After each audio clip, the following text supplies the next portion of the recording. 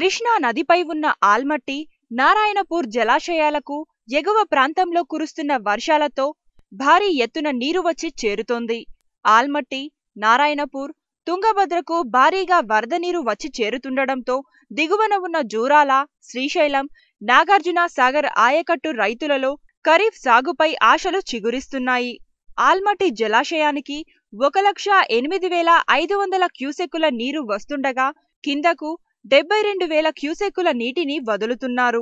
నారాయణపూర్ జలాశయానికి డెబ్బై రెండు వేల క్యూసెక్కుల నీరు వస్తుండగా ముప్పై ఆరు వేల క్యూసెక్కుల నీటిని కిందకు వదులుతున్నారు. తుంగభద్రకు అరవై వేల క్యూసెక్కుల వరద నీరు వస్తుండగా కిందకు ఐదు వేల క్యూసెక్కుల నీటిని వదులుతున్నారు. వరద నీరు మరో మూడు రోజులు ఇలానే కొనసాగితే శ్రీశైలం నాగార్జునసాగర్ జలాశయాలకి నీరు చేరే అవకాశం ఉంది.